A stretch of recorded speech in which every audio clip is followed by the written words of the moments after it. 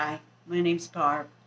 This tarot reading is for the sign of Gemini for the week of February 15th, 2022.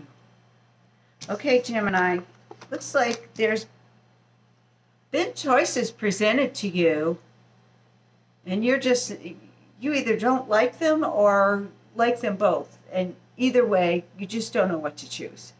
So you've decided not to.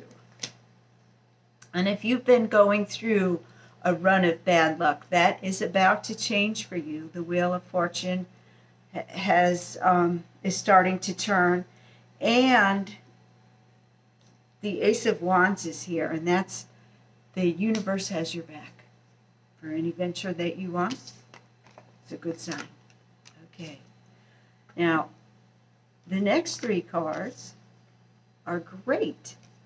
You are very content with the um, financial aspect of your life at this point.